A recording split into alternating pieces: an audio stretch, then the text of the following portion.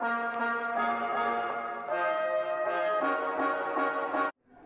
c'est sûr, euh, c'était l'objectif de gagner. On avait su euh, et on avait vu euh, que Montpellier avait été accroché, on va dire, en perdant que 1-0 face à Nîmes, donc on s'attendait à un gros match. Après, le fait de marquer assez rapidement, je pense que ça nous rend le match beaucoup plus facile. Non, je sais pas. Après, on est toujours première, donc on a toujours le destin entre nos mains. Et, voilà, il reste encore. On a bien entamé la deuxième partie de saison avec notre victoire face à Saint-Maur et aujourd'hui face à Nîmes. Mais on attend les gros matchs contre Montpellier et Paris avec impatience. Ouais, donc euh, bah, c'est un petit club de DA, je pense qu'ils vont être contents de nous recevoir. Après, euh, c'est toujours sympa de, jouer dans des clubs qui n'ont pas l'habitude de nous voir parce que ça fait une belle fête pour le football féminin.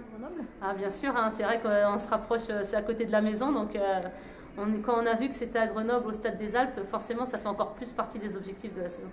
Euh, on y pense quand il y a eu le tirage, forcément. Après, là, on pensait pas mal aux vacances parce que je pense qu'on a tout besoin de, couper là au mois de décembre. Enfin, c'est pendant la trêve hivernale.